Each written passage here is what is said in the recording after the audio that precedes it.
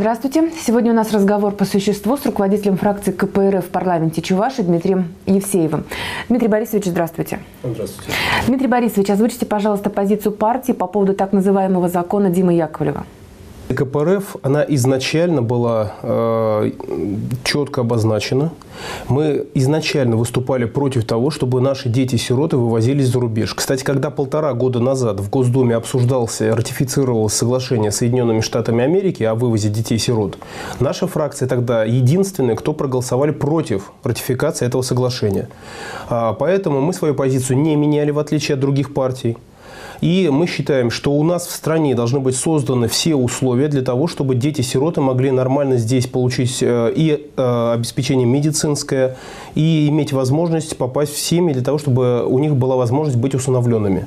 Для этого надо э, коренным образом изменить социальную политику в этой области. И, кстати, в определенной степени вот этот шум вокруг закона Димы Яковлева, он помог, поскольку уже сейчас делаются серьезные шаги в этом направлении. Мы считаем, что работа по обеспечению детей детей-сирот внутри страны должна продолжаться. А, мы считаем, что негоже нашей стране, одной из самых богатейших стран в мире, а, позволять вывозить отсюда наших детей, при, тем более при той э, демократической ситуации, которая в нашей стране сейчас сложилась. То есть вы считаете, что те меры, которые предпринимает правительство по улучшению жизни детей-сирот и по улучшению жизни семей, которые усыновляют таких детей, недостаточными? А, меры принимаются правительством, но недостаточные. Направление верное, но а, количество средств и обеспечение финансового пока недостаточное для того, чтобы решить эту проблему. А, в связи с этим, конечно, понятны опасения правозащитников, которые говорят, что внутри страны э, наше правительство не готово решить проблему детей-сирот. Каково ваше отношение к идее нового законопроекта о выборах губернаторов Российской Федерации? Ну, мы считаем, что та схема, которая сейчас в первом чтении предложена, возможно, она будет изменена ко второму чтению и поправкам, но та э, вот схема, она неприемлема. Это шаг назад. Мы помним, что вот в 2012 году протесты дали толчок к демократизации э, политической системы в стране. К сожалению, мы сейчас видим откат э, от этих, с этих позиций. И полагаю, что принятие законопроекта, если оно, он пройдет в том виде, в котором сейчас был внесен и принят, то принятие этого законопроекта приведет э, фактически к отмене прямых выборов, э, даже с фильтром, с муниципальным, который, в, котором, в том виде, в котором он существовал. И мы вернемся опять фактически к назначению губернаторов, что, на наш взгляд, является неприемлемым и антидемократическим. Но политологи говорят, что а, отмена выборов губернаторов возможна в некоторых республиках Северного Кавказа. А, если только федеральный законодатель даст возможность региону самому определяться, делать прямые выборы или э, избирать значит, э, путем парламентского голосования, то есть депутаты местных ЗАГС собраний будут избирать, я более чем уверен, что абсолютное большинство субъектов Российской Федерации примет решение отменить прямые выборы. По одной простой причине, потому что мы знаем, что в ЗАГС Собраниях сейчас большинство составляет партия «Единая Россия», которая из года в год старается урезать все демократические права наших граждан. Дмитрий Борисович, ваша фракция, единственная в Госсовете Чувашской Республики, голосовала против введения универсальной электронной карты. Почему вы так голосовали?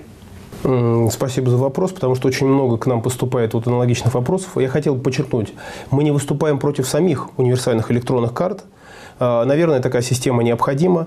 Мы выступаем против э, такого э, механизма их выдачи, который сейчас предусмотрен, когда для отказа необходимо специальное заявление писать. К сожалению, наша страна занимает в мире первое место по киберпреступности. Это факт. К сожалению, абсолютное большинство населения у нас э. Э, не обладает компьютерной грамотностью, и они не смогут э, нормально пользоваться этими универсальными электронными картами, а этим будут уже пользоваться мошенники. Вот в этих условиях мы считаем, что универсальные электронные карты должны выдаваться по заявлению добровольно, если человек готов осознанно взять на себя такую ответственность. Потому что вот э, я считаю, и наша позиция, эта фракция, в том заключается, что большинство населения сейчас не готовы нести ответственность за использование этой универсальной электронной карты, тем более, что она будет использоваться как платежная система. Вы наверняка встречались с людьми, которые перекрывали и дорогу, президентский бульвар, и протестуют против универсальной электронной карты. О чем вы с ними разговаривали?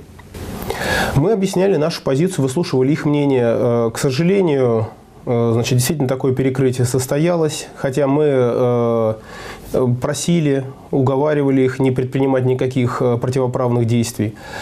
Но мы выслушали друг друга, услышали их позицию, они услышали нашу позицию. У нас такой диалог состоялся. К сожалению, власти не захотели слушать этих протестующих. И, кстати, один из показателей того, что действительно универсальные электронные карты надо выдавать, выдавать э, по заявлению доброво, в добровольном порядке, это факт то, что сейчас отказов от универсальных электронных карт на порядок, а то и на два порядка больше идет, чем э, желающих получить эти войки.